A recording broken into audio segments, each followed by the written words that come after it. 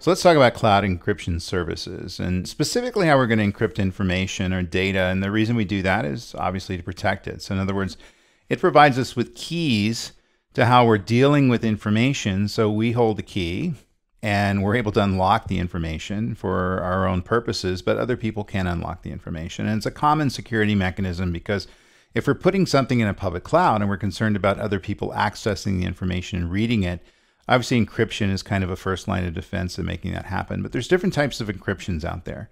So, in the world of encryption algorithms, there's symmetric or secret key encryption, there's asymmetric or public key encryption. And those are really kind of the two things you need to know. We can talk about different DES encryption and different bitrate encryption and different encryption performance management mechanisms and things like that. But the reality is that we're dealing with cloud security. We just have to deal with the notion of encryption. That encryption is available to us. Those services are able to add information to the data or have a key which allows us to protect the information from anybody who's able to read it. So under symmetric or secret key encryption, we have DES, which you'll hear about a lot, which is a type of encryption that's able to encrypt data.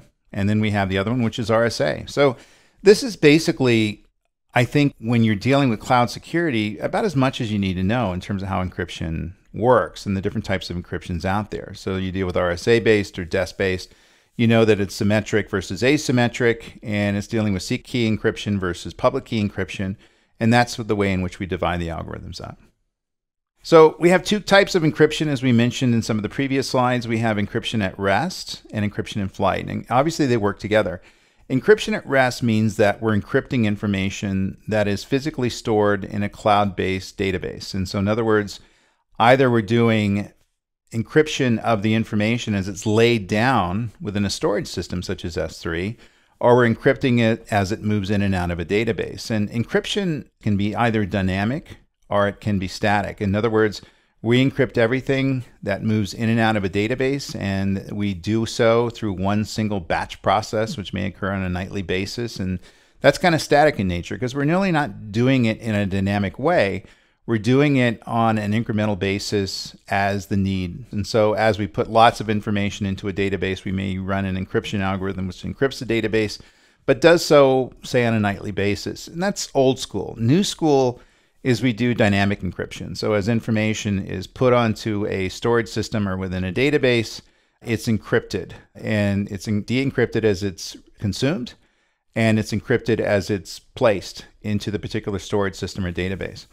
The other notion is encryption in flight, and that's pretty easy to understand because what we're doing is encrypting things that move down the wire. There's lots of folks that leverage encryption at rest, but they may not leverage encryption in flight. And what that means is that as information is transmitted to the data store and information is consumed from the data store, that is exposed. So, in other words, if people who have a network sniffer and can look at the wires, which is fairly easy to do, can see the information as it moves across. And obviously, if that's PII information, that can be a real problem. So, what we'll do is basically do encryption in flight where information is encrypted before it's sent down the wire to the consumer.